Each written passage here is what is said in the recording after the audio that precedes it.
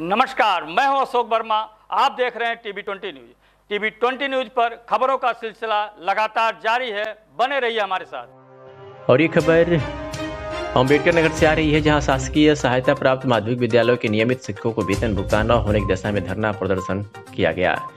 उन्होंने अपने पत्र के माध्यम से लिखा कि हम आपको बता रहे हैं कि शासकीय सहायता प्राप्त माध्यमिक विद्यालयों में नियमित रूप से कार्यरत शिक्षक एवं शिक्षकेतर कर्मचारियों का वेतन मई व जून माह 2022 का अद्यतन लंबित है, जबकि जुलाई माह भी सन्निकट है। सूक्ष्म है कि वेतन वितरण अधिनियम उन्नीस सौ इकहत्तर के अनुसार शिक्षकों का वेतन बिल प्रत्येक माह की बीस तारीख तक प्रत्येक दशा में पास हो जाना चाहिए, लेकिन खेतपूर्वक कहना है कि जिला विद्यालय निरीक्षक द्वारा कोई ठोस कदम नहीं उठाया गया, जिससे कि कारण शिक्षक भुखमरी के आगार पर पहुँच गए हैं। इतना ही नहीं, शिक्षकों को इस दयनीय हाल में छोड़कर स्वयं अवकाश पर चले गए।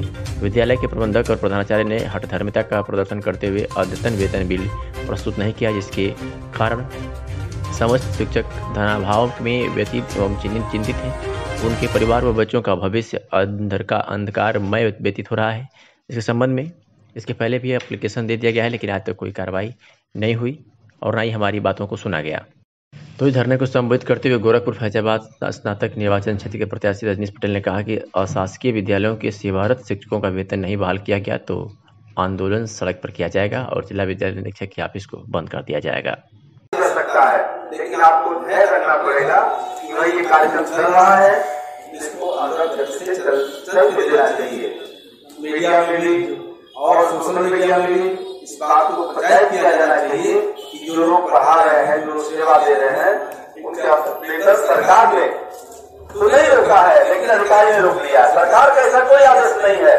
कोई जीव दिया सिखा दे मुझे सप्ताह जनपद में मैं चल रहा हूँ। किसी के पास कोई आदेश नहीं है, लेकिन उन्होंने ज़बरदस्ती किसी के दबाव में आकर के रोक रखा है। तो ऐसा कब तक आप करेंगे? हमने जिलाधिकारी बस्ती से कहा कि इसके जिला में पैदा नहीं दिया अगर ये वेतन बिल्कुल नहीं भेजता है क्यों नहीं भेज रहा है।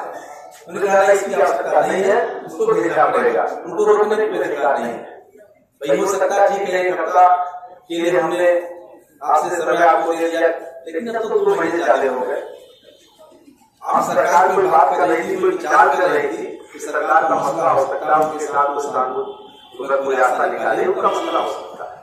लेकिन हम पढ़ा रहे हैं वेतन मिलना चाहिए।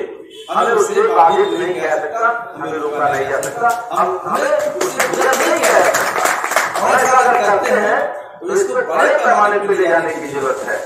और एक दिन ऐसा भी आएगा कि आपको एक दिन के लिए बड़ा प्रश्न करने की आवश्यकता पड़ेगी ताकि जनपद में भी ये मैसेज जाए कि सरकार गलत नहीं कर रही अधिकारी कर रहा है। सरकार का ऐसा कोई चीज़ नहीं है जहाँ तक मुझे जानकारी है। सरकार का कोई ऐसा नहीं है और सरकार दे भी नहीं सकती। सरकार के पास में भी नहीं है कि सरकार ये आदेश दे दे कि शिक्षकों का जो सेवारत है उसका वेतन बहाल कर दिया जाए। सरकार के बस में नहीं है। सरकार के बस में नहीं है। आयोग के बस में जो था, जो के बस में था, उसने उसने कर दिया लेकिन अगर वेतन बाधित है तो इसके लिए हमें संघर्ष करना चाहिए। सरकार धन्यवाद।